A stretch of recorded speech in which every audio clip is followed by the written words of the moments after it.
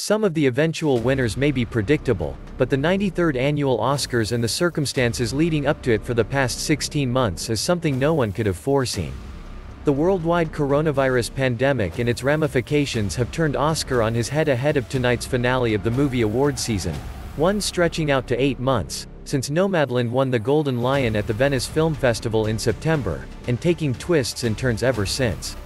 In fact, this Oscar show was originally set for February 28 until the Academy of Motion Picture Arts and Sciences was forced to move it back two months in hopes of a safer environment to a do a live ceremony.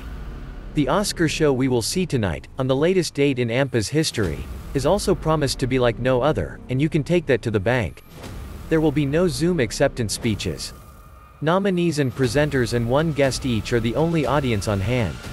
Only a cap of 170 people will be allowed in the room, with the main stage at new venue Union Station in downtown Los Angeles, and nominees will be rotated in and out according to when their category is up, and then spend the rest of the show watching it on TV screens in the gorgeously designed Oscar makeover of the Union Station's north patio. As for the movies, this has also been a year like no other. How that affects the results is something we are about to find out. Will heavy favorites like Nomadland in Best Picture, or the late Chadwick Boseman for Best Actor, fall prey to upset winners instead? Who among the five leading actresses will emerge triumphant in the one of the tightest and most unpredictable races ever in that category? Will Minari's Yoo Yu Yun become the first Korean ever to win an acting Oscar, and only the second Asian since Japan's Miyoshi Umeki was a winner for Sayonara in the same supporting actress category at the 1958 Oscar ceremony? Will Glenn Close officially tie Peter O'Toole as Oscar's biggest acting loser at eight nominations without a competitive win?